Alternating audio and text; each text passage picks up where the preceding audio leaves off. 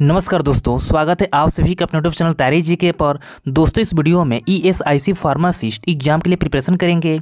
इसमें top twenty five important M C Q को पढ़ेंगे, जो कि आपके एग्ज़ाम के लिए बहुत ज़्यादा हेल्पफुल रहेंगे। इस वीडियो में मैंने previous question plus new question को भी इंक्लूड किया है। अगर आप लोग इन क्वेश्चन को अच्छे से पढ़ लेते हो तो एग्ज़ाम इजिली क्वालिफाई कर लोगे। तो चलिए स्टार्ट करते हैं। तो दोस्तों स्टार्ट करते हैं। फ़र्स्ट क्वेश्चन है myocardium is a special muscle tissue found only in the यानी कि मायोकार्डियम कौन से आर्गन में पाई जाएगी? ठीक है? इसमें कह रहा है कि मायोकार्डियम कौन से आर्गन में पाई जाएगी? ऑप्शन दिया गया है हार्ट ब्रेन स्टोमक लंग्स सही आंसर है ऑप्शन ए क्या हो जाएगा? हार्ट हो जाएगा। ठीक है? याद रखिएगा। और दोस्तों, आज ये पार्ट थ्री कर रहे हैं हम लोग। ठीक है? इससे पहले मैंने part one part two video upload कर दिया है। अगर अभी तक वो वीडियो नहीं देखे हैं तो डिस्क्रिप्शन बॉक्स में आपको लिंक मिल जाएगा, आप लोग वहाँ से जाकर देख लेना।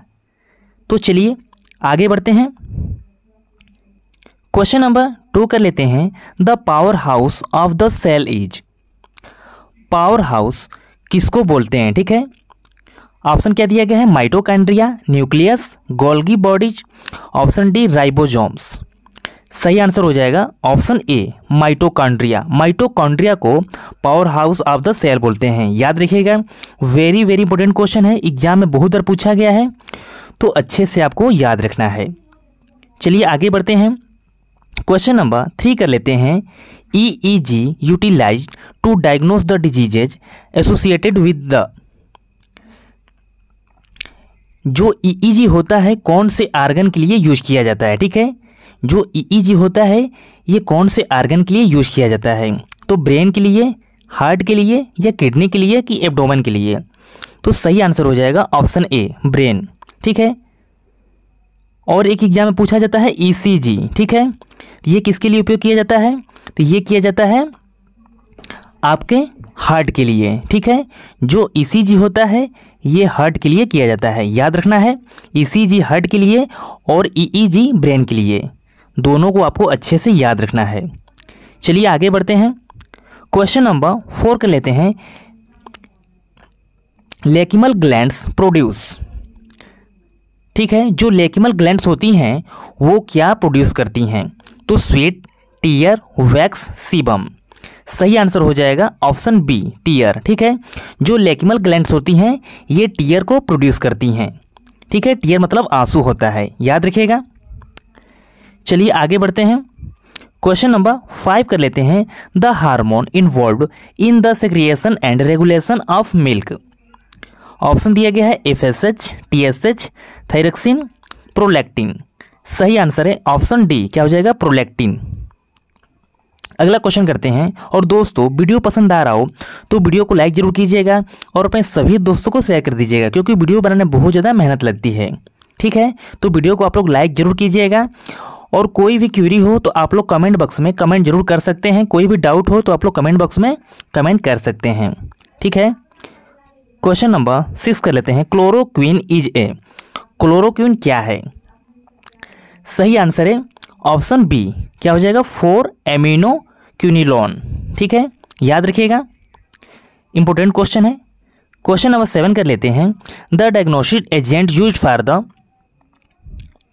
option दिया गया P thirty two, option B P sixty, option C I one thirty one, option D दिया गया एफ़ ई उनसठ। सही आंसर हो जाएगा ऑप्शन सी क्या हो जाएगा? आई एक सौ इकतीस, यानी कि आयोडीन एक सौ इकतीस। ठीक है? याद रखिएगा। क्वेश्चन नंबर एट कर लेते हैं। The antifungal drugs fluconazole belongs to the class of जो फ्लुकनाजोल होती है, वो कौन सी क्लास की ड्रग होती है? इसमें कह रहा है जो फ्लुकनाजोल होती है, वो कौन सी क्लास की ड्रग होती है?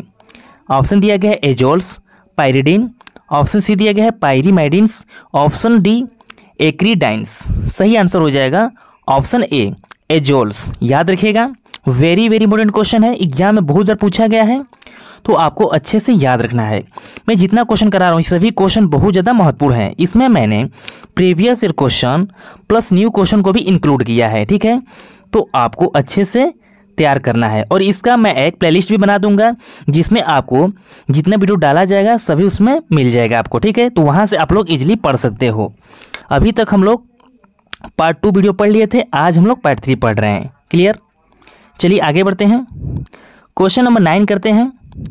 क्वेश्चन नंबर नाइन है an analgesic containing para amino phenol group is option दिया गया aspirin paracetamol ibuprofen option D indomethacin सही आंसर है। ऑप्शन बी क्या हो जाएगा? पैरासीटामॉल याद रखिएगा, जो पैरासीटामॉल होती हैं, ये बुखार उखार में दी जाती हैं, ठीक है? क्लियर? ये एनर्जेसिक दवा होती हैं, जो पैरासीटामॉल होती हैं एनर्जेसिक दवा होती हैं। अच्छे सबको याद रखना है। चलिए आगे बढ़ते हैं। क्वेश्चन नंबर टेन कर लेते हैं। सिप्रोफ्लक्सासिन इज़ ए सिप्रोफ्लक्सासिन इज़ ए क्या है सिप्रोफ्लक्सासिन तो क्यूनिलॉन ड्रग ऑप्शन बी दिया गया है। क्यूनी क्लूडाइन ड्रग ऑप्शन सी दिया गया है। Quinolone drug option D iso quino isoquinoline drug तो सिप्रोफ्लक्सासिन कौन सी ड्रग है? ऑप्शन सी हो जाएगा। Quinolone drug? ठीक है? याद रखना है। चलिए आगे बढ़ते हैं। क्वेश्चन नंबर इलेवन कर लेते हैं। A naturally occurring carminative is. Option दिए गए अगार, अशोका, अर्जुना असफोटिया सही आंसर हो जाएगा ऑप्शन डी। क्या हो जाएगा? आसा फोटिया। ठीक है? क्या हो जाएगा? आसा फोटीडा क्लियर है? थोड़ा स्पेलिंग इसमें अटपटांग रहता है तो आपको अच्छे से ध्यान देना है। ठीक है? चलिए आगे बढ़ते हैं question number twelve. Tropane alkaloids can be identified by. Option दिया गया biuret test, Millon test, thalleioquin test, Vitali test. सही आंसर हो जाएगा ऑप्शन डी, क्या हो जाएगा? Vitali test. क्लियर? आगे बढ़ते हैं, क्वेश्चन नंबर थर्टीन कर लेते हैं। A crude drug used as cardiotonic. सही आंसर हो जाएगा ऑप्शन डी, क्या हो जाएगा? ऑप्शन डी में क्या दिया गया? क्वेश्चन नंबर फोर्टीन कर लेते हैं। Curcuminoids are present in. सही आंसर हो जाएगा ऑप्शन सी, टर्मरिक। क्लियर है? अगला क्वेश्चन देख लेते हैं। क्वेश्चन नंबर फिफ्टीन कर लेते हैं। Oxygen is transported to every cell of the human body of. Option दिया गया, red blood cell, hormones white blood cell, blood platelet. सही आंसर है ऑप्शन ए। क्या हो जाएगा? रेड ब्लड सेल यानी कि आरबीसी ठीक है? याद रखना आपको आरबीसी का फुल फॉर्म भी आपको याद रखना है, क्योंकि एग्ज़ाम में आरबीसी डब्ल्यूबीसी का भी फुल फॉर्म पूछ लिया जाता है, ठीक है? तो आरबीसी का फुल फॉर्म होता है रेड ब्लड सेल ठीक है? और अगर आप, आपसे एग्ज़ाम में ये पूछ लें कि आरबीसी का जीवन काल कितना होता है, यानी इसका जो लाइफ है कितना होता है तो ये होता है 120 दिन, ठीक है? कितना होता है? 120 डे याद रखिएगा। चलिए अगला क्वेश्चन देखते हैं। क्वेश्चन नंबर सिक्सटीन के लेते हैं। SA node of mammalian heart is known as option दिया गया time controller pacemaker beta regulator option D दिया गया है ऑटो रेगुलेटर सही आंसर है। ऑप्शन बी क्या हो जाएगा? पेस्ट मेकर क्लियर है? अगला क्वेश्चन देखते हैं। क्वेश्चन नंबर सेवेंटीन कर लेते हैं। Which of the following is not a bone in the legs of the human body सही आंसर है। ऑप्शन ए, क्या हो जाएगा रेडियस ठीक है? याद रखिएगा। चलिए आगे बढ़ते हैं। क्वेश्चन नंबर एटीन कर लेते हैं। Pancreas secretes hormone which help in सही आंसर है। ऑप्शन डी, क्या हो जाएगा? Keeping sugar balance in body next question करते हैं। नेक्स्ट क्वेश्चन है। Question number nineteen which of the following components of blood protects human being from infection blood platelets plasma haemoglobin white blood cells सही answer हो जाएगा option D क्या हो जाएगा? White blood sales यानी कि डब्ल्यूबीसी ठीक है? याद रखिएगा। अगर एग्ज़ाम आपसे ये पूछ ले कि डब्ल्यूबीसी का जो लाइफ होता है कितना होता है? तो तीन से चार दिन, ठीक है? तीन से चार दिन डब्ल्यूबीसी का लाइफ होता है। आरबीसी का पूछ ले। तो आरबीसी का पूछे तो एक सौ बीस डे ठीक है? याद रखिएगा। चलिए आगे बढ़ते हैं। क्वेश्चन नंबर ट्वेंटी कर लेते हैं। Which of the following glands control the development of sex organs in humans सही आंसर है ऑप्शन बी। क्या हो जाएगा? Pituitary question number twenty one के लेते हैं। The blood pressure is the pressure of blood in सही आंसर हो जाएगा ऑप्शन डी। क्या हो जाएगा? आर्टरीज ठीक है? याद रखिएगा। अगला क्वेश्चन देख लेते हैं। क्वेश्चन नंबर ट्वेंटी टू कर लेते हैं. The gland which in relation to body size is largest at birth and then gradually shrinks after puberty सही आंसर हो जाएगा ऑप्शन ए क्या हो जाएगा? थाइमस क्लियर है? चलिए क्वेश्चन नंबर ट्वेंटी थ्री कर लेते हैं.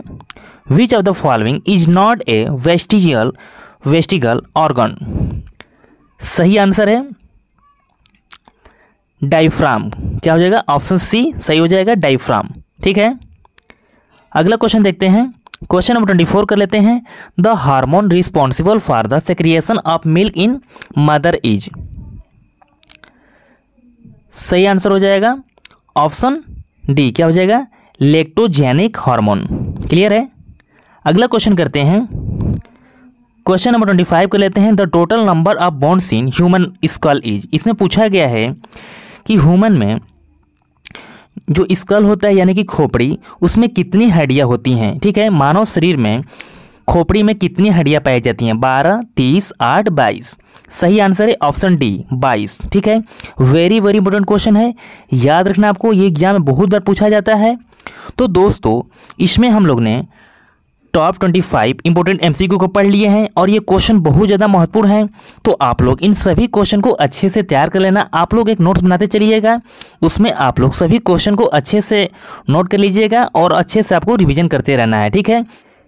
इसमें आपका जो पेपर होगा टोटल 150 नंबर का होगा, ठीक है? 100 क्वेश्चन रहेंगे, ठीक है? कितना क्वेश्चन रहेगा? 100 क्वेश्चन आपका आएगा 150 मार्क्स का। क्लियर तो आपको अच्छे से तैयारी करना है। तो दोस्तों, आज के लिए इतना ही। फिर मिलते हैं नेक्स्ट वीडियो में। तब तक के लिए थैंक यू